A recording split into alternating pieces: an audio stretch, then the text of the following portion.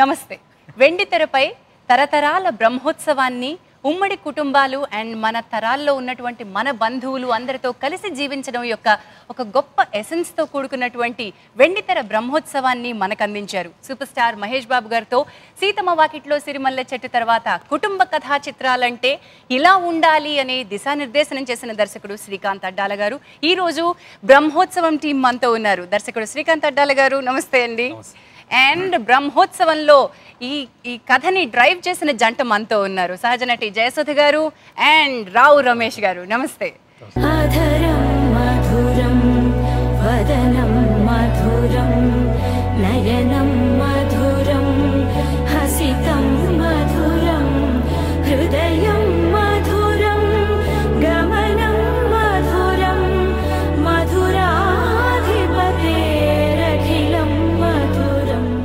credit to both of you. అసలు చాలా అందంగా ఆవిడ సహజ నటి ఎలాగైనా సరే చాలా అందంగా పాత్రలన్నీ చేసేస్తూ ఉంటారు. బట్ మీరేంటండి ఒక డిఫరెంట్ దీనిలో కనిపించారు రావు రమేష్ గారు? ఒక ఈర్ష్యని చాలా పాజిటివ్గా మన అందరిలోనూ ఉంటుంది అని చెప్పే ప్రయత్నం డైరెక్టర్ గారు చేసినట్టున్నారు. టుడే యూ హ్యావ్ షేర్డ్ ఇంతమంది ఆడియన్స్ ఉన్నారు మన దగ్గర. హలో ఆడియన్స్ అందరూ కూడా సినిమా చూసి వచ్చేసారు మీతో మాట్లాడడానికి. వాళ్ళందరూ కూడా ఒకటే మాట్లాడుతున్నారు. దట్ దిస్ ఈజ్ కళ్ళకి నిండుగా అసలు పండగగా ఇంత పెద్ద తెరపై పండగ చూపించేశారు అని. మరి ఈ పండగకి ఈ జంట కారణం కాబట్టి ఇప్పుడు మీరు చెప్పండి Rao Ramesh garu I you celebrating this success నాకు సక్సెస్ పక్కన వస్తే జయసుధ గారితో యాక్ట్ చేసే అవకాశం ఉంది. నేను మర్చిపోలేంది ఆవిడ ఉంటే ఫ్రేమ్లో బాబాయ్ సింగిల్ టేక్లో చేస్తామే షార్ట్ అంటే ఆవిడ ఇచ్చిన కంఫర్ట్ మనల్ని అసలు డిస్టర్బ్ చేయకుండా ఆవిడ అలా చైర్లో కూర్చొని చూస్తుంటే మనకి హిమాలయ పర్వతం ఆవిడ ముందు చేయడం అంటే ఆవిడ అంత చూసి బాగా చేస్తున్నారు. బాగా ఆవిడ ఎంకరేజ్ చేసింది మాత్రం అసలు నేను లైఫ్లో మర్చిపోలేను ఆవిడ బ్లెస్ చేస్తూనే ఉన్నారు విష్ చేస్తూనే ఉన్నారు మమ్మల్ని. అది చాలా థ్యాంక్స్ సహజ నటి అనే బిరుదు ఊరికే రాదు. అలాగే ఆవిడ ఇచ్చే థాట్స్ కూడా సడన్గా డైరెక్ట్గా ఆవిడ అడిగే క్వశ్చన్స్ కూడా ప్రతిదీ.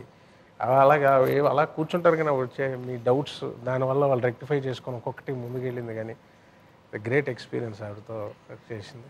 జయసుధ గారు మీకు ఇలాంటి క్యారెక్టర్స్ కొత్త కాదు. ఒక పెద్ద కుటుంబంలో ఆర్ ఒక పవర్ఫుల్ క్యారెక్టర్ సైలెంట్గా ఉంటూనే చేయడం. అండ్ శ్రీకాంత్ అడ్డాల గారితో మీరు వర్క్ చేయడం కూడా ఇది మొదటిసారి కాదు. ఆల్రెడీ సీతమ్మ వాకిట్లో మేము మిమ్మల్ని చూసేస్తున్నాం.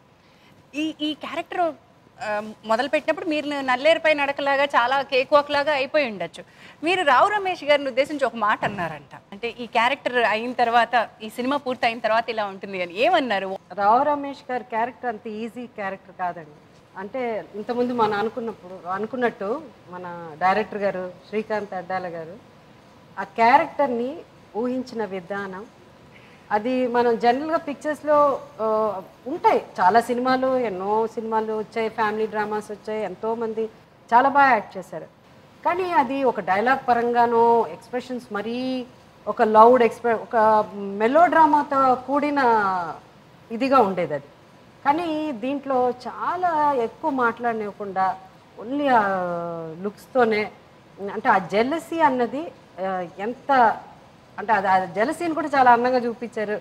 ఈ సినిమాలో చాలా న్యాచురల్గా చూపించారని అనుకోవాలి. సో త్రోట్ ఆయన చేస్తున్నప్పుడు ఎస్పెషలీ ఇంటర్వల్ ముందు సీన్ అనుకుంటాను.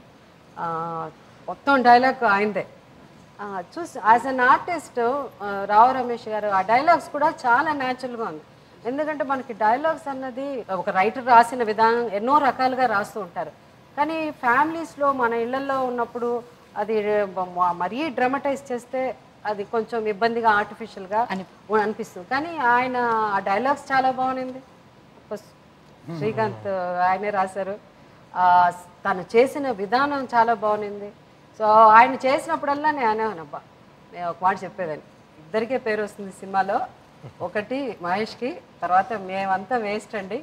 పేరు మీకే వస్తుంది. ఈ సినిమాతో అసలు అంటే రావు రమేష్ గారు మంచి యాక్టరు అన్నది అందరికీ తెలుసు చాలా సినిమాలు చేస్తున్నారు బిజియెస్ట్ యాక్టరు.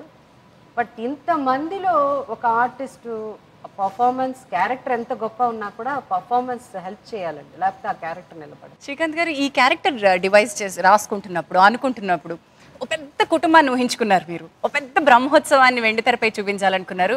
మీకు పెద్ద ప్రొడక్షన్ హౌస్ ఉంది. Mahesh Babu ultimate super star మీకు అంతకు ముందు కూడా చూస్తున్నారు. ఎంత కన్వీనియంట్ యాక్టర్ మీరే చెప్తూ ఉంటారు. బట్ ఇంత ఉన్నప్పుడు ఆపోజిట్ ఒక పెద్ద విలన్ ఉండాలని మేము ఎక్స్పెక్ట్ చేస్తాం. ఈ కథకి ఒక పెద్ద విలన్ ఉంటారు అని. బట్ ఆ విలన్ క్యారెక్టర్కి ఉండాల్సిన పవర్ఫుల్ ఎలిమెంట్స్ అన్నీ తీసి ప్రతి మనిషిలోనూ ఉండే జెలసీ అనే ఎలిమెంట్ రావు రమేష్ గారి క్యారెక్టర్లో పెట్టి చూపించారు. సో విలన్ని రీప్లేస్ చేశారా మీరు రావు రమేష్ గారు క్యారెక్టర్తో ఈ కథ వరకు ఏంటంటే అండి నలుగురు ఉండాలనేది మెయిన్ కాన్సెప్ట్ అండి. అలా ఉండడం వల్ల ఏంటి అంటే ఇప్పుడున్న ప్రజెంట్ సొసైటీలో మనకున్న కాంప్లికేషన్స్ మనకున్న ఒత్తిడి మనకున్న ప్రెజర్స్ ఇవన్నీ ఉన్నాయి కదండి. అలాంటప్పుడు అనుకున్నది జరుగుతా జరగచ్చు జరగకపోవచ్చు. పాజిటివ్ రావచ్చు నెగిటివ్ రావచ్చు మన అందరికీ మన నిత్య జీవితంలో. అదేమీ తెలియకుండా చేయడానికి ఎప్పుడు నలుగురు ఉంటూ ఉంటే కొంచెం అదొక అది మర్చిపోతాం ముందు మెయిన్గా ఇప్పుడు మేడం చెప్పారు మాది ఏ ఉండదు చాలా తక్కువ. నిజానికి ఏంటంటే నా ఐడియాలో చాలా మందికి చాలా డైలాగ్స్ లేవు సినిమాలో కానీ అందరూ తెలుసున్న ఫేస్లే. ఆ ప్రజెన్స్ ఆఫ్ ద పీపుల్ ఉంటారు చూసారా? అంటే నలుగురు ఉండడం అనే ఒక మంచి ఒక సమ్మేళనం ఉంటుంది చూసారా? దాన్ని జాగ్రత్తగా ప్రజెంట్ చేసుకుంటూ వెళ్తూ ఉండాలి. ఇది ఫాదర్ యొక్క ఆలోచన. దాంట్లో కొడుకు అనే హీ- హీరో గారు ఉన్నారు. ఆయన ఏంటంటే ఎక్కువ ఆలోచించకుండా చాలా తక్కువ తీసుకుంటా. ఇప్పుడు ప్రాబ్లం ఏదైనా కానీ అటే ప్రాబ్లం సాల్వ్ చేయడం వేరు. మళ్ళీ ఆ ప్రాబ్లం మనం ఎంతవరకు తీసుకోవాలి అంతవరకు తీసుకోవడం వేరు. ఈ రెండో కేటగిరీలో ఆ అబ్బాయి ఉంటాడు. ఎందుకంటే తను ఎంతమంది జనం ఉన్నారు ఇంట్లో. ఆడతా పాడతా ఎప్పుడు వెళ్ళిపోవడమే. రెండో ఆలోచన రాదు. చక్కగా హాయిగా సరదా వెళ్ళిపోతూ ఉంటారు. ఇప్పుడు ఈ మొత్తం అందాన్ని ఏదో ఒకటి మొత్తం మీద డిస్టర్బెన్స్ లేకపోతే సినిమాలో కథమం అవుతుంది. కరెక్ట్. ఇప్పుడు దీనికి పెద్ద విలన్ కావాలా? ఇలా కాకుండా ఈ నలుగురు ఉండాలనే చోట దాన్ని చెరగొట్టేది ఏమైంటుందండి?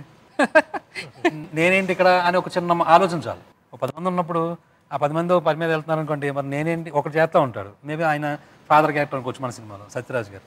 మరి నేను ఎంతకాలం కష్టపడుతున్నాను కదా మరి నా గుర్తింపు ఏంటి నేనేంటి? నేను ఎప్పుడు ఇంతేనా ఇంకా? లైఫ్ అంతా ఇంక ఇలాగే పనివాళ్ళలాగా వెళ్ళిపోవడమేనా? అని ఒక ఒక బెంగ ఉంది. అది ఎప్పటి నుంచి ఉందో తెలియదు ఆయన వయసు సినిమాలో చూపించిన అంతకుముందు ఎప్పుడు స్టార్ట్ చేసామో తెలియదు అక్కడ వరకు కూడా అది కంటిన్యూ అవుతుంది అందుకనే ఇది లోపల పెట్టుకుని జరగకుండా క్యారెక్టర్గా ఒక భార్యతో తను చెప్తూ ఉంటాడు సినిమా. ఉండొచ్చు కదా నువ్వు అంటావు. ఉంటే ఆ పెద్ద మనిషి కదా జరుగుతుంటే నాకు అసూయ అది అంత ఓపెన్గా ఎవరు చెప్పుకుంటారు? అంటే తెలియకుండా మంచోడే. కానీ అది నేను తీసుకోలేకపోతున్నాను అది నేను దాటలేకపోతున్నాను నేను ఏం చేయాలి అని చెప్తే అప్పుడు మేడం ఒక ఎగ్జాంపుల్ చూపిస్తారు. ఎంతటికి మొత్తం ఈ ఏ ఒక కుటుంబంలో కానీ ఏ నలుగురు కలిసి ఉన్న సంస్థ కానీ ఎక్కడున్నా కానీ ఒక ఫ్రెండ్స్లో కానీ ఎక్కడున్నా కానీ ఇలా నా గుర్తింపు ఏంటి నేనేంటి అని ప్రతి ఒక్కడికి సొల్యూషన్ ఎప్పుడు కూడా ఎక్కడ ఉంటుందంటే మన అందరిలో ఉండే శ్రీరాముడు ఫోటో ఏదైతే ఉంటుందో అండి శ్రీరామ్ పట్టాభిషేకం ఫోటో ఏదైతే ఉంటుందో ఆ ఫోటో చూస్తే చాలు దాని నుంచి చాలా నేర్చుకోవచ్చు. అందులో హనుమంతుడు కాళ్ళ దగ్గరే ఉంటాడు రాముడు గారి పాదాల దగ్గరే ఉంటాడు. అంత మాత్రం చేత హనుమంతుడికి గుడిగడతం మానేసామా లేకపోతే దేవుడి కింద టీచ్ చేయడం మానేసాం ఆయన్ని దేవుడి కింద అడుగడుగునా వాడవాడలో పూజిస్తా ఉన్నాం. సో మీరు ఎప్పుడు హనుమంతుడే ఆయన ఎప్పుడు శ్రీరామచంద్రుడే అని చక్కటి సొల్యూషన్ చెప్పేశారు. అక్కడ వినేసి ఉంటే కథ అక్కడితో అయిపోద్దండి. వినకపోవడమే వచ్చిందండి. సో అందుకనే మీకు అక్కడ మొదలుపెట్టిన కథ మేడం ఏదైతే చెప్పారో అదే పాయింట్ తోటి ఎండ్ అయిపోద్దండి. ఎండ్లో వచ్చి ఆ మహేష్ బాబు గారు ముందు మోకాల మీద పడి కిందకి నేను మీ నాన్న ఎప్పుడు శ్రీరామచంద్రుడారా బట్ నేను హనుమంతుడు కాదో లేదని తెలుస్తాను. ఎందుకంటే ఇంకా తెలుసుకోలేదు తను. ఆ ఒక ఫీలింగ్ తోటి ఎండ్ అవుతుంది. మీరు ఎలా కనెక్ట్ అయ్యారండి? ఇలాంటివి చాలా కుటుంబ కథా చిత్రాల్లో ఇంపార్టెంట్ అండ్ కీ రోల్స్ చేసిన మీకు హౌ డిఫరెంట్ ఇస్ బ్రహ్మోత్సవం? నిజంగా చాలా సినిమాలు. అంటే మ్యాక్సిమం నేను చేసిన ఫ్యామిలీ డ్రామాస్ ఈ సినిమా ఇస్ డిఫరెంట్ అండి. ఎందుకంటే అది వచ్చి ఒక కథ ప అనగనగా ఒక రోజు ఆ ఒక రాజా రాజు ఆ రాజుకి ఏడుగురు పిల్లలు. దాని తర్వాత అది అలా ఉంటుంది. బట్ మన థాట్స్ మన ఫ్యామిలీ వాల్యూస్ ఆ వాల్యూస్ అనేది ఏదో ఒక క్లైమాక్స్ సీన్లోనో ఏదో చెప్పడం కాదు. అది కూడా డైలాగులు చెప్పేసి కాదు. డైలాగ్ చెప్పేసి కాదు. సో తను నాకు ఈ పిక్చరు సీతమ్మ వాకిట్లో అది ఒక స్టైల్ ఆఫ్ మూవీ అండి. అది క్యారెక్టర్స్ కానీ ఒక ఫీల్తో ఒక ఫ్యామిలీలో విదిన్ ఒక్క ఒక ఫాదర్ మదర్ అండ్ ఇది వచ్చి లైక్ ఈ said relationships no extended families ఒక రిలేషన్షిప్తో కూడింది. అండ్ దెన్ చాలా నాకు ఈ పిక్చర్లో నచ్చింది ఏంటంటే లైక్ మన ఈయన సీను ఇంతకుముందు డైరెక్టర్ గారు చెప్పారే హనుమంతుడు సీను. ఇతను యాక్చువల్గా విలన్ కాదు.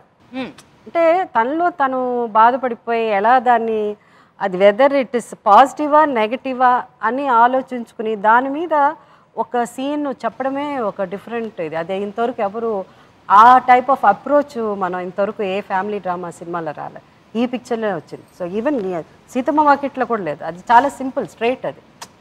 అంతే. బట్ ఇదేంటిది? కొంచెం మనం లోపల ఇన్నర్ ఇది ఒక ఇది ఉంది చూడండి. అది అది బయటకు వచ్చి అది మాట్లాడింది. ఈ సినిమాలో ఎక్కువ ఆ క్యారెక్టరైజేషన్స్ ఎక్కువ ఉంది ఈ సినిమాలో. సో మెయిన్ వచ్చి అఫ్కోర్స్ చాలామంది ఉన్నారు. లైక్ ఈ సైడ్ ఈ సినిమా ఫెస్టివల్ అందరూ కలర్ఫుల్గా ఉన్నాము అందరం ఉన్నాము. బట్ ఈ సి- రావు రమేష్ గారి క్యారెక్టర్ కానీ సత్యరాజ్ గారు కానీ వీళ్ళిద్దరు క్యారెక్టర్స్ అలాగే అఫ్కోర్స్ మన మహేష్. సో ఈ త్రీ క్యారెక్టర్స్ మధ్య ఆ ఫీల్ అన్నది చాలా బాగా తీసుకొచ్చారు. అండ్ ఇట్ ఈస్ డెఫినెట్గా ప్రతి ఆ ఫ్యామిలీ ఫ్యామిలీ వాల్యూస్ అన్నది మనం చాలా రకాలుగా చెప్తాము. మన సీరియల్లో చెప్తాం పుస్తకాల్లో చదువుతాం. బట్ ఇది ఏంటంటే ఫ్యామిలీ వాల్యూ అన్నది ఒక్క మన మన చుట్టూ ఉన్న ఫ్యామిలీయే కాదు. వీ హ్యావ్ సో మెనీ ఏడు తరాలు. అంటే ద మోర్ యు థింక్ అంటే ఇప్పుడు నాకు ఈ సినిమా చూసిన తర్వాత మీరు నమ్మరు. చూసిన తర్వాత నాకు మా తాతగారికి తాతగారు. ఆయన ఎప్పుడో రే ఒక ట్రైన్ యాక్సిడెంట్లో నైన్టీన్ ఎయిటీన్ ట్వెల్వ్లోనో ఎప్పుడో అంట. సో ఈ పిక్చర్ చూసిన తర్వాత నేను మా మా మదర్ని నేను అడగడం మొదలుపెట్టాను. అసలు ఎవరు మన వాళ్ళు మన వాళ్ళకి ఎవరు ఉన్నారు? మీరు వెనక్కి వెళ్ళినట్టు మా ఆడియన్స్లో కూడా వెళ్ళుండి ఉంటారు. ఎవరైనా మొదలు పెట్టారా అండి? మీలో బ్రహ్మోత్సవం చూసిన తర్వాత నా వెనక ఎవరున్నారు? మా వాళ్ళు ఎవరున్నారు? అని వెతుక్కోవడం ప్రారంభించిన వాళ్ళు ఎవరన్నా ఉన్నారా? శ్రీకాంత్ సార్ గారికి congratulations sir. Thank you cinema చాలా బాగుంది సార్. ఫ్యామిలీగా వెళ్ళాం మేము. వెళ్ళాం కాబట్టి మాకు ఆ ఫ్యామిలీ ఆ మోరల్స్ తెలిసాయి సార్. ప్లస్ ఏంటంటే ఇప్పుడు బ్యాచిలర్గా వెళ్ళిన వాళ్ళకి అర్థం కాదు సార్. ఎగ్జాంపుల్ నా కొడుకు morning show eight o'clock షోకి బుక్ చేసుకున్నాడు. వెళ్ళినప్పుడు వాడికి తెలియలేదు. అమ్మ ఏంటి సినిమా? నాకు అర్థం కాలేదన్నాడు ఈవినింగ్ మళ్ళీ మేము ఫస్ట్ షో బుక్ చేసుకున్నాం సేమ్ డే. మాతో వచ్చాడు. వచ్చిన తర్వాత మాతో వాడు కూడా షేర్ చేసుకొని నాకు ఇప్పుడు చాలా బాగుందమ్మా సినిమా అన్నాడు. రెండు సార్లు సినిమా చూసిన మీ అబ్బాయికి ఇవ్వండి. అంటే నాకు కూడా నా కజిన్ ఉంటే అందరం కలిసి ఒక ఉత్సవంలా ఉంటుందని కలిసి ఆడుకోవచ్చు. ఒక మంచి మాట చెప్పాలంటే చుట్టూ నలుగురు ఉందని చెప్పారు కదా సార్. అలాగే ఇప్పుడు నలుగురమే అయిపోయాం. ఇంకొంతమంది మనతో ఉంటే ఎంత బాగుంటుంది? అంటే you have friends also friends friends is friends కంటే apart from friends friends is the world కదా. దెన్ ఫ్రెండ్స్ కాకుండా you- మీ మదర్ తరఫున మీ ఫాదర్ తరఫున అలా మీ యూ వాంట్ టు మీట్ కదా? You want. నో అదే కదా. అందరం ఒకే ఇంట్లో ఉంటే ఇంకా బాగుంటుంది అనిపించింది. Very nice thank you Srikanth garu తను ఆ, బాబు మరి తెలిసి చెప్పాడో తెలియక చెప్పాడో కానీ నలుగురు ఉండాలి అనేదే ఈ సినిమాలో మీరు చెప్పాలనుకున్నారు. ఆ ఏజ్ గ్రూప్లో ఆడియన్స్కి సీతమ్మ వాకిట్లో సినిమాల చెట్టులో ఉన్నటువంటిది కూడా అంత తొందరగా అర్థం కాలేదు. ఫ్యామిలీస్లో ఉన్న వాళ్ళందరూ దాన్ని మెల్లమెల్లగా ఎంజాయ్ చేయడం మొదలు పెట్టారు it went on to be a record collecting అసలు క్రియేటింగ్ ఒక అద్భుతమైన సినిమా అయిపోయింది. టుడే మీరు అనుకున్నటువంటి ఈ పాయింట్ యంగర్ జనరేషన్ ఆడియన్స్కి ఎంత మీరు అందంగా చెప్పగలిగారు? అది రీచ్ అయిందనేది నాకు ఇప్పుడు అర్థమవుతుంది. ఒక నలుగురు ఉండాలి నాకు నేను పంచుకోవాలంటే అని బాబు చెప్తున్నాడు. అదేనా మీరు అనుకున్న ఉద్దేశం. అంటే ఒకటండి. ఇప్పుడు సీతమావిట్లో ఉందంటే కనుక అదొక మిడిల్ క్లాస్ అదొక వేరే అంత ఎక్స్పోజర్ లేని ఒక ఫ్యామిలీ అది. ఎక్కడో లోపల ఎక్కడో ఉండి వాళ్ళ పాటలు ఏ వాళ్ళు పడతా వాళ్ళకి సంబంధించింది దీని దగ్గర వచ్చేటప్పటికి ఏంటంటే ఒక ఇంట్లో లేకపోయినా కానీ నాలుగు కుటుంబాలు ఒకే రిలేషన్ తోటి ఉన్న వాళ్ళందరూ ఒక చోటే ఉంటారు. ఒక చోటే ఉండి ఒక చోటే కలుస్తూ ఉంటారు పాటలు పాడుకుంటూ ఉంటారు ఇంకేదో చేస్తూ ఉంటారు. ప్రతి చిన్న సందర్భాన్ని కూడా ఒక ఫెస్టివల్ లాగా జరుపుకునే వాతావరణం ఉంటాం ఉంటుంది. ఇప్పుడున్న యంగర్ జనరేషన్కి అబ్బాయి చెప్తే ఫస్ట్ మార్నింగ్ షోకి వెళ్ళినప్పుడు అర్థం కాలేదు సాయంత్రం వచ్చినప్పుడు అర్థమైంది అంటే నా వరకు నాకు నా సినిమాల వరకు ఏంట్రా బాబు ఈ హడ్డీలు ఎలా దాటాలనేది ఒక పెద్ద ఆలోచనగా ఉందండి. అంటే యూత్కి అది ఎంతవరకు రీచ్ అవుతుంది ఏంటి అనేది ఇప్పుడు ఫస్ట్ టైం ఆ అబ్బాయి మార్నింగ్ వెళ్తే నాకు అర్థం మేబీ పక్కన వాళ్ళు ఉండటం వల్ల ఇప్పుడు వాళ్ళతో పాటు చూస్తున్నప్పుడు ఏంటంటే ఈజీగా కనెక్ట్ అవుతూ ఉంటారు కదండి. పక్కన నా ఫ్యామిలీతో నేను చూస్తున్నప్పుడు అందరూ కలిసి సమిష్టిగా చూడటం ఒక పద్ధతి ఒకళ్ళే ఒకే వెళ్ళినప్పుడు ఏంటంటే వాళ్ళతో లేదు. ఇప్పుడు మేబీ యూత్ఫుల్గా వాళ్ళకి కావాల్సినవి కోరుకున్నాయి కొన్ని ఉంటాయి. అవి దొరకకపోవచ్చు కొన్నిసార్లు. నాలుగు సాంగ్లు కావాలనుకుంటారు నాలుగు రికార్డులు కావాలనుకుంటారు నాలుగు ఇంకోటి ఏదో కావాలనుకుంటూ ఉంటారు. అవి దొరకకపోవచ్చు. కానీ ఒక ఫ్యామిలీ తోటి ఒక పది మంది వెళ్ళి కూర్చొని చూస్తున్నాం అనుకోండి మనమే అక్కడ రిప్రజెంట్ అవుతున్నాం. ఇప్పుడు నా పక్కన ఉన్న మదను ఊహించుకుంటాను నా పక్కన ఉన్న చెల్లిని అనుకుంటాను నా పక్కన ఉన్న బాబాయ్ని అనుకుంటాను.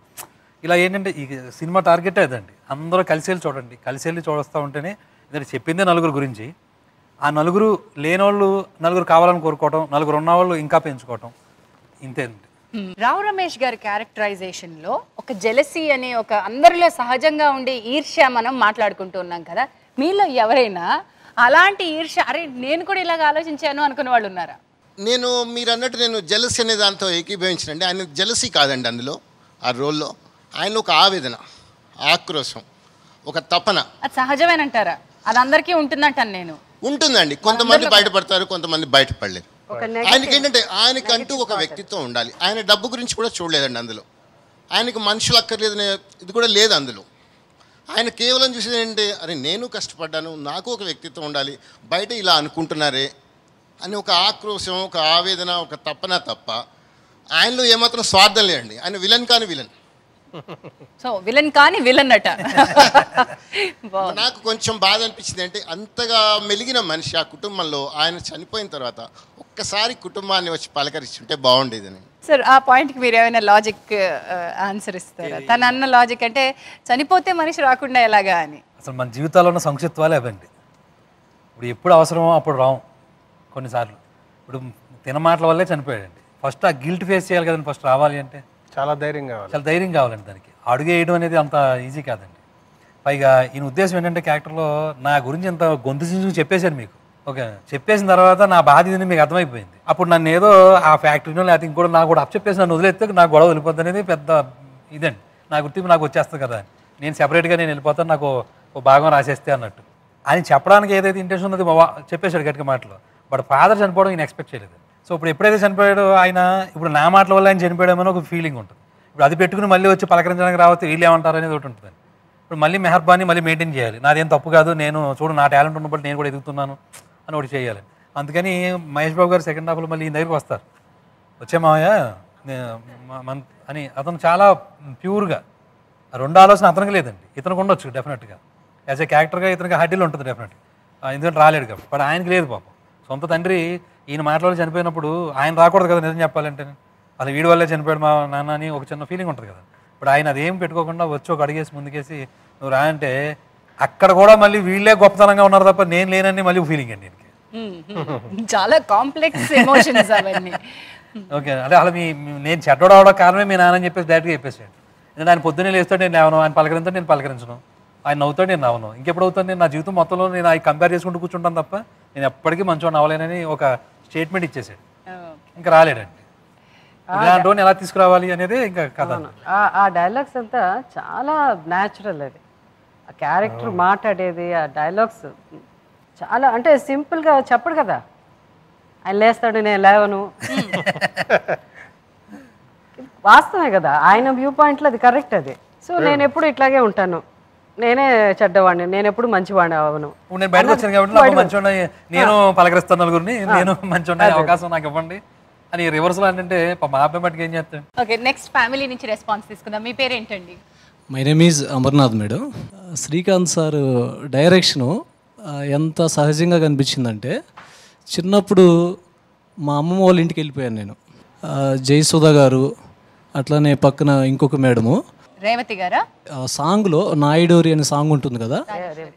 ఆ సాంగ్లో విసురాయితో పప్పు రూపించడం అట్లానే హీరోయిన్స్తో ఆ పిండి ద- దంచించడం ఇవన్నీ కూడా లైక్ ఫెస్టివల్స్ మనకు దసరా సంక్రాంతి ఉంటాయి కదా? ఆ టైంలో మా అమ్మమ్మ వాళ్ళ ఇంట్లో మా పిన్నమ్మలు మా అత్తయ్యలు అంతా కూడా అందరూ కలిసి చక్కగా ఫ్యామిలీ మొత్తం కూడా కలిసి ఆ పిండి వంటలు చేసేటప్పుడు ఆ పనులన్నీ చేస్తుంటారు. ఒకసారి ఆ ఫ్రేమ్ చూసిన ఎవరైనా సరే టీవీలో కూడా మనకి ట్రైలర్స్లో అది ఆ సాంగ్ బాగా కనిపించింది. ఆ ఫ్రేమ్ చూసిన ఎవరైనా సరే ఇమీడియట్గా ఎలాంగ్ విత్ ఫ్యామిలీ థియేటర్కి వెళ్ళి సినిమా చూడాలనే థాట్ వస్తుంది.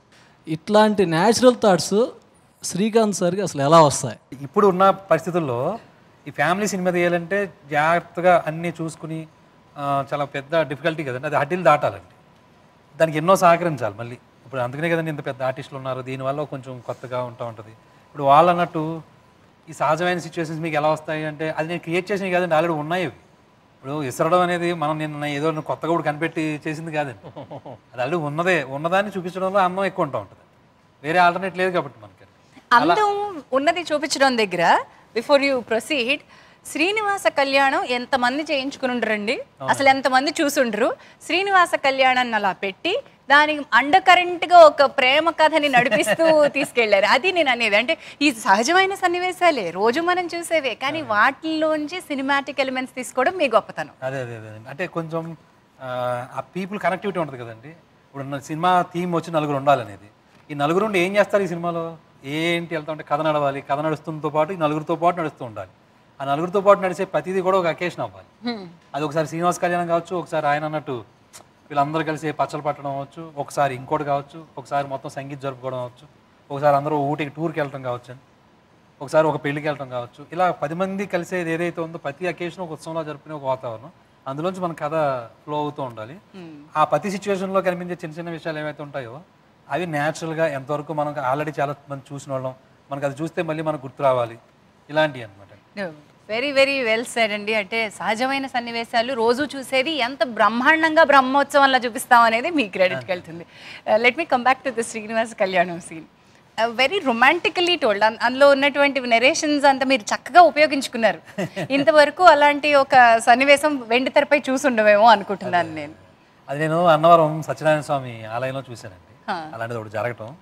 ఆ, అమ్మవారి తరపున కొంతమందిని అయ్యవారి తరపున కొంతమంది ఉండి వాళ్ళని కంపేర్ చేసి చెప్తూ ఉంటారు అనమాట. చెప్తుంటే అది ఫస్ట్ టైం అండి. నాకు నాకు కూడా అలాంటి ఒక విషయం ఉంటుందని నాకు తెలియదు అంతకుముందు.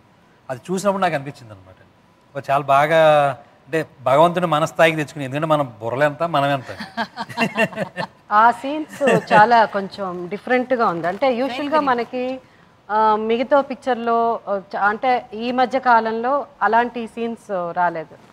ఇప్పుడు ఫ్యామిలీలో సెలబ్రేషన్స్ చేసుకుంటాం అన్నది. బట్ ఇక్కడ సెలబ్రేషన్స్లో కూడా ఎక్కువ వాళ్ళు దేవుడి పట్ల దేవుడు పూజ చేయడం. అండ్ దెన్ ఒకరికొకళ్ళు మాట్లాడుకుంటే మా నేను రేవతి మన తులసి మిగతా ఆర్టిస్టులు కూడా అందరి మధ్య అది నేను చాలా కొత్త సీన్స్ అని నేను నాకు అనిపించింది. నేను శ్రీకాంత్తో కూడా చెప్పడం జరిగింది. అది ఇంతవరకు ఏ పిక్చర్లో రాలేదు లేదు వెరీ వెరీ డిఫరెంట్ అండి కొత్తగా అనిపించింది అంటే యూ రియల్ అంటే మనకి సినిమా అనేసరికి ఇంత ఒక ఎక్కువ కూడా తీయలేం మనం. బట్ ఆ సీన్ చేస్తున్నప్పుడు ఎంత చేసినా బాగుంది అనిపించింది. ఎంత లెంత్ ఉన్నా బాగుంటుందేమో అనిపిస్తుంది అలాంటి సీన్స్ తక్కువ కదా దేవుడి గురించి మాట్లాడుకోవడం అన్నది చాలా తక్కువ ఉంటుంది. ఐ లైక్ అంటే అది డెఫినెట్గా డిఫరెంట్ సీన్ అని ఇంతవరకు అయితే ఏ సినిమాలో రాలేదు. అదైతే ధైర్యంగా నేనైతే చెప్పగలను Rao Ramesh garu coming back to your performance మంచి పర్ఫార్మర్గా మీరు పేరు తెచ్చుకున్నారు ఎస్టాబ్లిష్ చేసేసుకున్నారు. దీనికి ప్రత్యేకంగా కష్టపడింది ఏమన్నా ఉందా? ఈయనతో ప్రతి సీను కష్టమేనండి. అంతేం ఈజీ కాదు. కష్టం అంటే ఎంజాయ్ చేస్తాం కానీ ఇప్పుడు ఏదో పెద్ద సీను చెప్పారు ఇంటర్వ్యూల్ ఇంటర్వల్ చేసాం ఇంటర్వల్ పెద్ద సీన్ చేసాం కదా అని చిన్న సీన్ ఉంటుంది ఏదో. అదేం అంత ఈజీగా ఉండదు. అది ఎక్కడ వేరే సినిమాల నుంచి తెచ్చిన డైలాగ్స్ అయి ఉండవు. ఆయన లోపల నుంచి ప్యూర్గా ఆయన చూసిందో విన్నదో అది ఎక్కడి నుంచో వస్తుంది. అది ఆ కరెక్ట్ ఇది ఆ మీటర్ పట్టుకోవడానికి మనకు అర్థ అర్థమై చేస్తేనే ఆ రిధం లేదా కిక్ ఉండదు. సో ప్రతి సీను పరీక్షగానే ఉంటుంది. ఈ సి- ఈ సినిమాలో అదే ఇప్పుడు సీతం వాకిలి చూస్తే ఇది దౌర్భాగ్యులు ఇది దురదృష్టవంతులు మేము దురదృష్టవంతులతో ఎక్కువసేపు మాట్లాడుకోవడం కూడా ఒక వేస్ట్ అనుకునే ఒక క్యారెక్టర్ దీనికి వచ్చేసరికి ముకుందా నేను చేసేసరికి వాడంతా వాడే అవతలోడు తెలివి లేదు నాదే తెలివి. ఇంటెలిజెంట్గా మాట్లాడతాడు దీనికి వచ్చేసరికి వీడికి ఒక అసంతృప్తి లోపల. నాకేం ఎవరేంటి మన గుర్తింపు రాదేంటి? మనం కాదా గొప్ప? నువ్వేనా గొప్ప? అసంతృప్తి కోసం ఆ గడ్డం ఫ్రస్ట్రేషన్ లోపల కక్కాలి. సో దానికి ఆయన ఇచ్చిన డైలాగు ఆ రోజు వచ్చింది అది చాలా హెల్ప్ ఆయన ఫ్లేవర్ని పట్టుకునే చేశాను అది.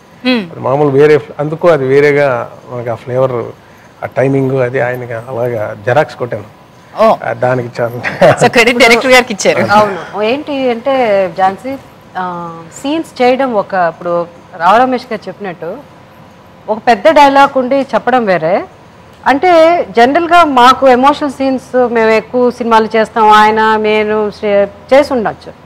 కానీ డైలాగ్ లెంతీగా ఉన్నంత మాత్రాన అదేదో చాలా అది చాలా కష్టం అని తక్కువ ఉంటే అది కష్టం అని. ఫస్ట్ ఆఫ్ ఆల్ శ్రీకాంత్ చెప్పినట్టు ఆ డైలాగ్ డెలివరీ కానీ ఆ ఎమోషన్ కానీ న్యాచురల్గా అంటే బాడీ లాంగ్వేజ్ కానీ ఇప్పుడు తన డైరెక్షన్లో ఏంటంటే బాడీ లాంగ్వేజ్ కూడా న్యాచురల్గా ఉండాలి. అంటే న్యాచురల్ అంటే ఏదో పళ్ళు తోముకుంటా డైలాగ్ చెప్పడం లేకపోతే బకెట్లో నీళ్ళు తీసి పోసి డైలాగ్ చెప్పడం. బిజినెస్ డైలాగ్ చెప్పడం కాదు నేను చెప్పేది. ఆ డైలాగ్ అంటే మనిషిలోనే ఒక బాడీలోనే మొత్తం మార్పు వచ్చేసేయాలి. సో అది యాక్చువల్గా నేను చాలా మంది డైరెక్టర్స్ దగ్గర పనిచేశాను. మంచి పేరు అందరూ బాగా పెద్ద పెద్ద డైరెక్టర్స్తో కానీ శ్రీకాంత్ చాలా కష్టం అది. చాలా చాలా కష్టము. అంత న్యాచురల్గా చిన్న చిన్న మైన్యూట్ థింగ్స్ కూడా చాలా సహజంగా రావాలి అని ఎక్స్పెక్ట్ చేసే డైరెక్టర్స్లో బహుశా తనకి ఫస్ట్ నేను ఫస్ట్ ప్లేస్ ఇస్తాను. సో ఆ ప్రయత్నంలో వచ్చే ఇదే అంటే ఏంటంటే ప్రతిదీ మన ఫ్యామిలీ వాల్యూ కానీ మన ఎమోషన్స్ కానీ ప్రతిదీ అది. మన ఇంట్లో ఉన్నట్టే ఆ ఫీలింగ్ రావాలని కోరుకునే డైరెక్టర్స్లో తను కూడా. అందుకే కొత్త బంగారు లోకం అనే సినిమా అది యంగ్స్టర్స్ మీద బేస్ చేసిన సినిమా అయినా ఆ ఫ్యామిలీ వాల్యూస్ మీదే బేస్ అయిన సినిమా. అది అట్లా అనుకోవచ్చు కానీ కొత్త బంగారు లోకం చాలా గొప్ప చిత్రం. అలాగే సీతమ్మ వాకిట్లో సిరిమల్ల చెట్టు కూడా చాలా అంటే సినిమా అంటే ఇష్టం యాక్టింగ్ అంటే ఇష్టం డైలాగ్ రాయడము స్క్రీన్ ప్లే అనుకునే యంగర్ జనరేషన్ కూడా ఈ సినిమాల్లో కొన్ని చాలా మంది చూసి కొన్ని మంచి పాయింట్స్ ఉంది. అలాగే మన బ్రహ్మోత్సవంలో కూడా. అసలు మన ఈ పిక్చర్ అనుకున్నప్పుడు ఎప్పుడన్నా అనిపించిందా? మీకు అనిపించిందా? నా మా నాన్నగారికి తాతగారు తాతగారికి నాన్నగారు నాన్నగారికి తాతగారు రాని. వాళ్ళందరి గురించి తెలుసుకోవాలని అంటే ఈ కథ అసలు పుట్టడానికి. అసలు వంశవృక్షం. ఆ వంశ ఎందుకు ఎట్లా ఎందుకు ఎలా అనిపించింది? ఈ కథ ఆలోచనలోకి వచ్చిన తర్వాత ఇలా వెతికితే బాగుంటది. అనుకున్న తర్వాత అయితే కనుక్కున్నానండి. నాకు ఏదో మూడు తరాల గురించి తెలిసిన తప్ప దాని తర్వాత ఎవరికి తెలిసిన వాళ్ళు కూడా లేరంటున్నారు. చాలా ఇంట్రెస్టింగ్ అది. చాలా ఇంట్రెస్టింగ్ ఫ్యామిలీ ట్రీ చేసుకోవడం అనేది.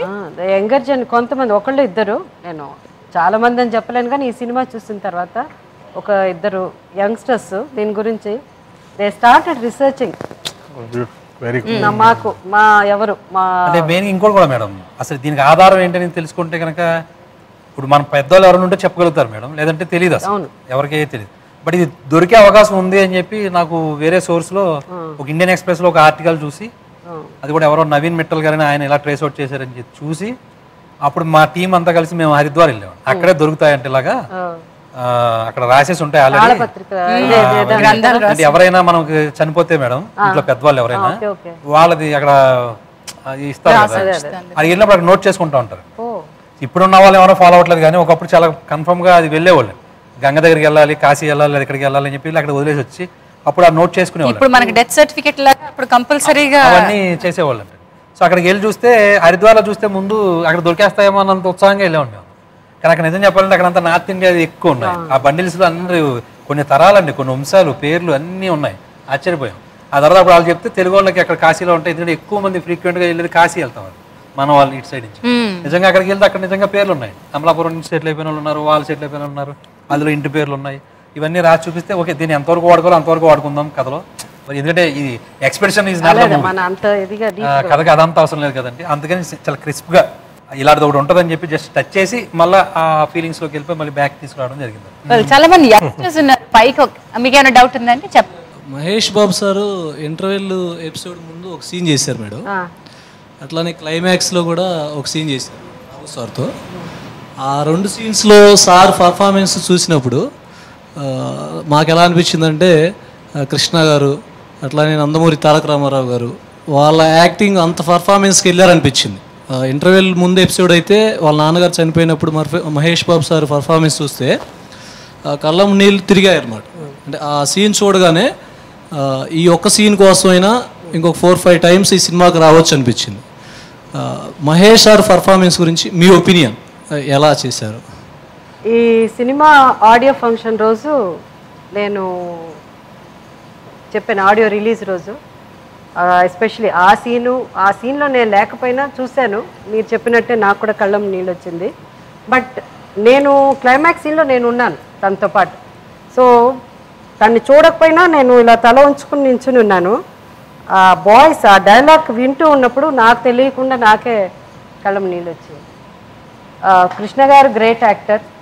Nandamuri Taraka Rama Rao garu one of the greatest actors. వాళ్ళందరూ గొప్ప నటులు. మన యంగర్ జనరేషన్లో వచ్చే హీరోస్ చాలామంది కష్టపడి బాగా యాక్ట్ చేయాలని ప్రయత్నం చేస్తారు. మహేష్ బాబు గురించి చెప్పాలంటే ప్రతి సినిమాలోనూ తను మంచిగా సినిమా సినిమాకి ఎక్కడికో వెళ్ళిపోతున్నాడు. పర్ఫార్మెన్స్ వైజ్ తను తనకని ఒక స్టైల్ క్రియేట్ చేసుకుని ఆ స్టైల్ని ఇంకా ఎవరు కూడా ఇమిటేట్ చేయని లెవెల్లో ఒక స్టైల్ క్రియేట్ చేసుకుని నిజంగా చెప్పాలంటే బహుశా అంత న్యాచురల్గా యాక్ట్ చేసే హీరో ప్రస్తుతం ఇప్పుడు ప్రస్తుతం ఎవరు లేరని నాకు అనిపిస్తుంది. ఈ కథకి మహేష్ బాబు గారు ఇచ్చినటువంటి కాపరేషన్ అదేనండి. ఇప్పుడు మీరు చెప్తున్నారు చూసారా? ఇప్పుడు ఆ ఫ్యాన్స్ లేకపోతే చాలా మంది అభిమానులుగా ఆయన కోరుకునే ఎనర్జీ లెవెల్స్ వేరు ఉంటాయండి ఆ, అందులో కొంత నేను వాళ్ళని డిసప్పాయింట్ చేసి ఉండొచ్చు. ఖచ్చితంగా అది ఫ్రాంక్గా చెప్తున్నాను కదా. కాకపోతే ఏంటంటే ఈ కథ పరంగా చూసినప్పుడు కొన్ని కథలు అన్ని కథలు ఒకలాగా ఉండవు. ఈ కథ సంబంధించినంత వరకు ఏంటంటే ఆ పెర్ఫార్మెన్స్లో ఆ ఫ్యామిలీస్ మధ్యలో ఉంటూ ఆ చిన్న చిన్న ఎమోషన్స్ని చాలా జాగ్రత్తగా పర్ఫామ్ చేసుకుంటూ లాస్ట్కి వచ్చేటప్పటికి నిలబెట్టాలి. కథలో ఉన్న దాన్ని ఏదైతే నిలబెట్టాలి అది దానికి అసలు ఆయన హండ్రెడ్ పర్సెంట్ దానికి యాక్టర్ ఆయనకి ఛాలెంజ్ అనుకున్నాను నేను. అది ఇచ్చారండి దానికి పెట్టారు పెట్టారు కాబట్టి ఇప్పుడు అందరూ feeling is one actor Rao Ramesh garu మీరేమంటారు? సీతమ్మ వాకిట్లో సిరిమల్ల చెట్టు లాంటి సినిమా చేయడం దగ్గరే ఆయన నేను డిఫరెంట్ కథలు కావాలని కోరుకుంటున్నానని ప్రూవ్ చేశారు. ఆ తర్వాత వన్ నేను ఒకటినే కానివ్వండి. మహేష్ బాబు గారు ఛాలెంజ్కి ఎప్పుడు రెడీగా ఉండే యాక్టర్ బ్రహ్మోత్సవంలో ఆయన పెర్ఫార్మెన్స్ ఇప్పుడు ఈరోజు మీ పెర్ఫార్మెన్సెస్ గురించి ఇంత మాట్లాడుతున్నాం అంటే మహేష్ బాబు గారి పెర్ఫార్మెన్స్ గురించి కూడా చాలా చాలా వాళ్ళ నాన్నగారిలాగా ఆయన ధైర్యవంతుడు అనిపిస్తుంది. మాకు అంత ఇంపార్టెంట్ సీన్ నేను మాట్లాడుతుంటే ఇంత పెద్ద పెద్ద యాక్టర్ సైలెంట్గా దానికి ఆయన ఓకే చేసి అలాగే క్లైమాక్స్ ఇచ్చి ఈ డైరెక్టర్ థాట్స్ని ధైర్యంగా ఆయన యాక్సెప్ట్ ఇన్నసెంట్గా యాక్సెప్ట్ చేసి అంత నమ్మకం పెట్టి పక్క వాళ్ళని ఇప్పుడు చెప్పాను ఇందాక శ్రీకాంత్ గారి డైలాగులు కొన్ని అర్థం చేసి దానిలో మెలకువలు కొన్ని మెరుపులు చెప్పారు కూర్చో కొన్ని కొన్ని సీన్స్ దగ్గర. అవన్నీ కూడా అతను పక్క వాళ్ళని కూడా ఇచ్చి ధైర్యంగా అతను ప్రోత్సహిస్తారు. అది ఏదో మనం డామినేట్ చేస్తున్నారో అదంతా అనుకోరు. సినిమా బాగుండాలి సినిమా బాగా రావాలి. అది చాలా గ్రేట్ అతను. Directors actor. Quick responses from the younger audience. పైన ఉన్న వాళ్ళ దగ్గర నుంచి మీకు ఎట్లా అనిపించింది సినిమా? చెప్పండి అమ్మా నా పేరు శ్రీకాంత్ అండి. ఇక్కడ కూడా ఉన్నారు ఒక శ్రీకాంత్. సార్ సినిమా ఫస్ట్ నుంచి ప్రతి సినిమాని నేను అబ్జర్వ్ చేస్తాను ప్రతి సినిమా నుంచి. యంగర్ ఆడియన్స్కి ఏదో కొంచెం చెప్పాలని తప్పని ఉంటుంది. ఖచ్చితంగా అది చాలా ఈజీ నీట్గా చెప్పేస్తారు. అంటే తిట్టినట్టు ఉండదు బట్ అర్థం చేసుకోవాలని చెప్పినట్టు ఉంటుంది. ఏంటంటే ఇప్పుడు ప్రాబ్లమ్స్ వస్తే ఫ్యామిలీ ప్రాబ్లమ్స్ వస్తే మనం తప్పించుకొని వెళ్ళిపోతాం యాజ్ యంగర్ జనరేషన్లో. దాన్ని క్యారీ చేసుకోవాలి అన్న ఆలోచన ఉండదు మనకి తప్పించుకొని వెళ్ళిపోవాలి అనుకుంటాం బట్ ఫాదర్ ఉన్నతో ఆయన క్యారీ చేశారు. తర్వాత తీసుకెళ్ళాలి అన్న సిచ్యువేషన్ లాస్ట్లో చూపించారు. ఆయన చెప్పులు వేసుకెళ్ళి వెళ్ళడం లాస్ట్లో ఆ బాధను తీసుకెళ్ళడం వాళ్ళ ముందు నిలబడడం తప్పు చేయకపోయినా తప్పు చేసినట్టయినా నిల్చొని ఆ బంధాన్ని క్యారీ చేయడం చాలా బాగా చూపించారు. అండ్ మెయిన్గా ఫస్ట్ నుంచి సార్ నుంచి రావు రమేష్ సార్ నుంచి చాలా ఎక్స్పెక్ట్ చేసి చూస్తున్నాం ఆయన డైలాగ్ డెలివరీ కోసం వెయిట్ చేస్తున్నాం. సార్ సైలెంట్గా ఉంటే లైక్ అర్థం కావట్లేదు. ఏంటి సార్ సైలెంట్గా ఉంటున్నారు అనుకున్నాం. బట్ వాళ్ళ ఫాదర్ని బొమ్మ చూపించే అదే ఆడియన్స్ ఏమనుకుంటున్నారో అదే వాళ్ళ ఫాదర్ బొమ్మ చూపించారు ఏంట్రా ఇలా ఉన్నావు? అది అని వాళ్ళ ఫాదర్ని చూపిస్తూ ఆడియన్స్ మనసులో ఏముందో అది బయటికి రాకుండా వాళ్ళకి ఆన్సర్ చేసేస్తున్నారు ఆ టైంలోనే. బట్ మేడం చెప్పారు మధ్యలో బొమ్మ చూపిస్తూ శ్రీరాముడి బొమ్మ చూపిస్తూ చెప్పడం. అది అక్కడితో ఒక ఒక క్లారిటీ వచ్చేసింది. ఆడియన్స్ అయితే క్లారిటీ వచ్చింది. బట్ సినిమాలో ఆ క్యారెక్టర్స్ క్లారిటీ రావాలంటే క్లైమాక్స్ దాకా చూడాలి అన్న విషయం అయితే క్యారీ చేసుకోగలిగాం ఎంత బాగా చెప్పావు ఎంత చక్కగా అసలు.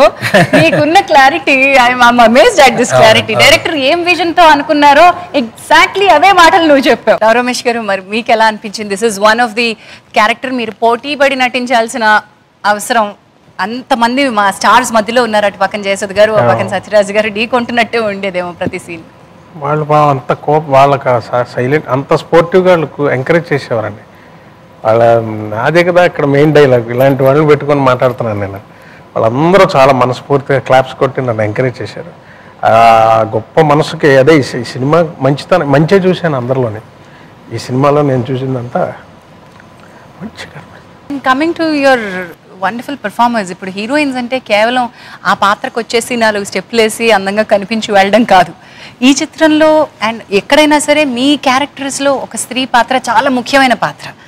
ఇక్కడ కూడా అటు ప్రణీత క్యారెక్టర్ కానివ్వండి కళ్ళు మూసుకో అని చెప్పి నేను మాట్లాడలేను అని చెప్పడం. మహేష్ బాబు గారిని కళ్ళెదురుగుండా నేను పెట్టి మాట్లాడలేను అనేటువంటి వాళ్ళు చాలా మంది ఉంటారు. అదే అదే బొమ్మతో కూడా. యూ క్యాప్చర్డ్ దాట్ ఎంతమంది అమ్మాయిలో కనెక్ట్ అవుతూ ఉంటారు ఆ- డై లైన్కి? అది ఒక్కొక్కరు ఒక్కొక్క టైప్ అండి ఆ ముగ్గురు కూడాను. ఆ అమ్మాయి ఇప్పుడు ఇంట్లోనే ఉంటుందండి. సో ఆ ముగ్గురు కూడా ఏం ఫాలో అయ్యానంటే మేడం డెఫినెట్గా అమ్మాయి జీవితంలోకి రాదు.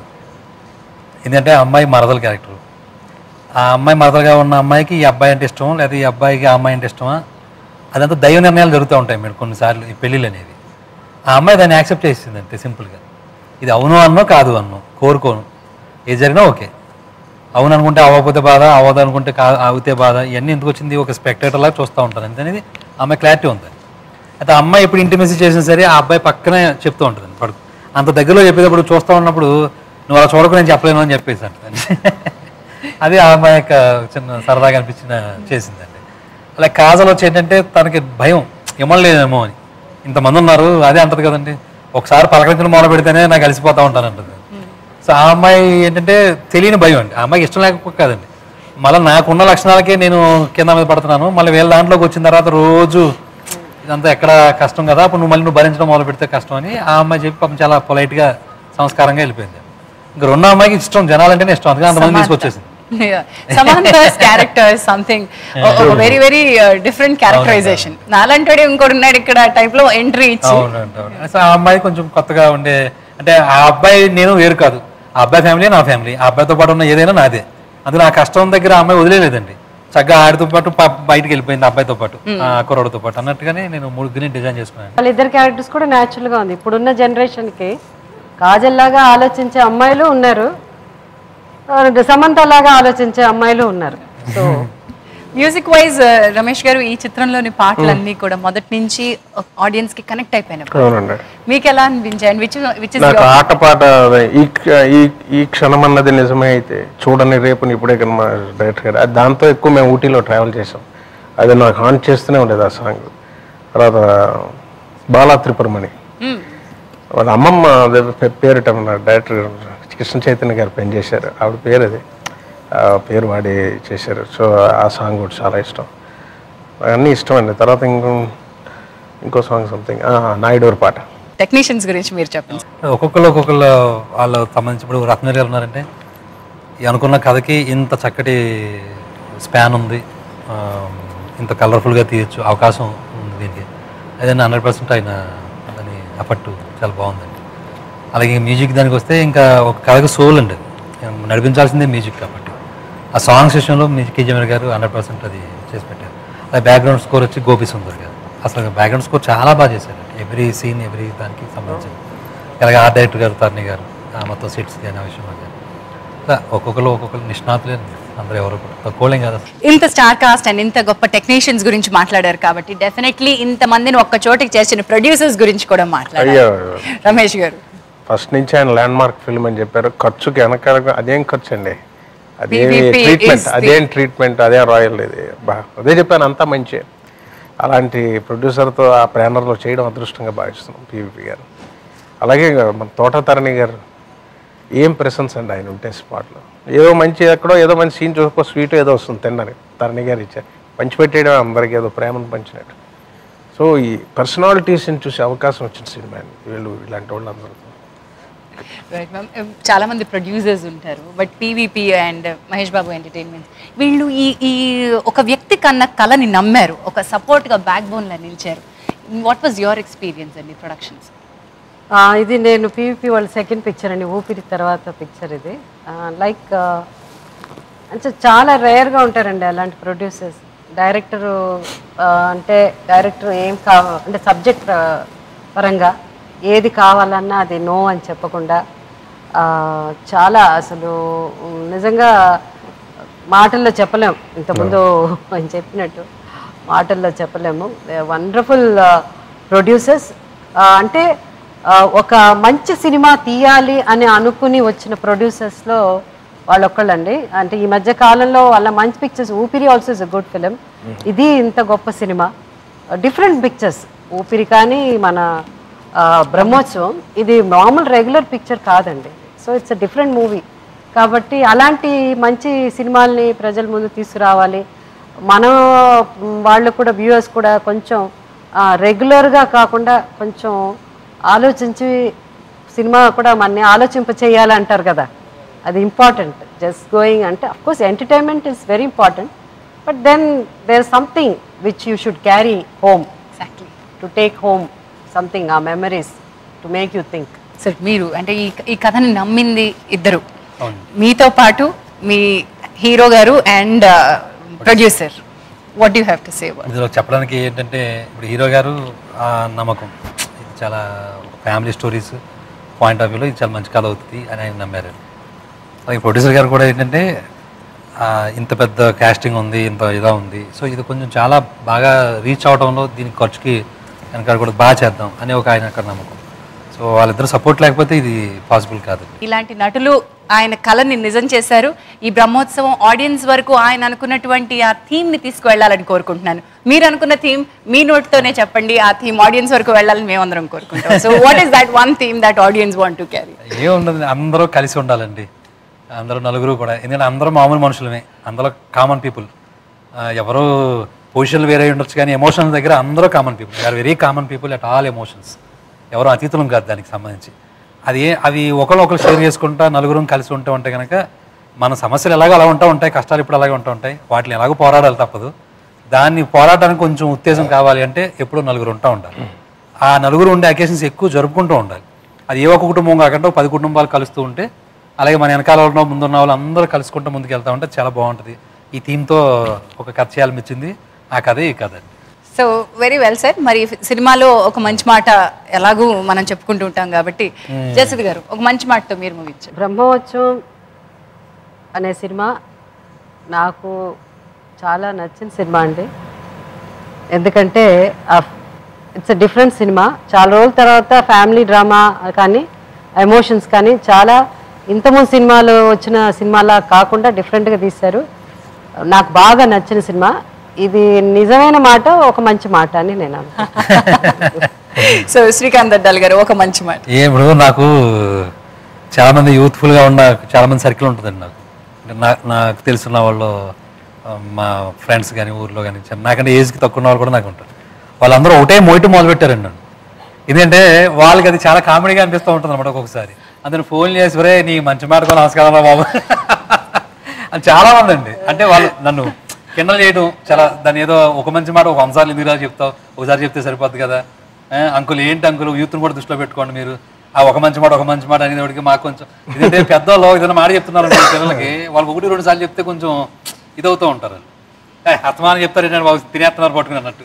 అలాగా ఈలో కూడా ఏంటంటే ఆ ఒక మంచి మాట అనేది చాలా మంది యూత్లోకి ఏంటంటే అది దాన్ని బాగా తీసుకునేటట్టు ప్రయత్నం చేయండి. ఎందుకంటే అది పెద్దలు చెప్పే మాటగా నేను అనుకున్న విషయం అండి అది. అదే మంచి మాట. ఏ ఇచ్చారండి టచ్ వండర్ఫుల్ రమేష్ గారు ఒక మంచి మాట ఫ్రమ్ యూ మంచి మాట అంటే అండి డైరెక్టర్ గారి ఉద్దేశం? ఇప్పుడు ఎకరాల లెక్క బతికిన వాళ్ళంతా ఎస్ఎఫ్టీ లెక్క వచ్చేసాం ఫ్లాట్స్లోకి సో న్యూక్లియర్ బాంబు పేలిన చోట ఐదు వేల సంవత్సరాలకు గడ్డి మరవదు. న్యూక్లియర్ ఫ్యామిలీలు ఇలాగే ఉండదు బంధం ఉండదు. అది నలుగురం కలిసి వెళ్ళాలన్నది అదే.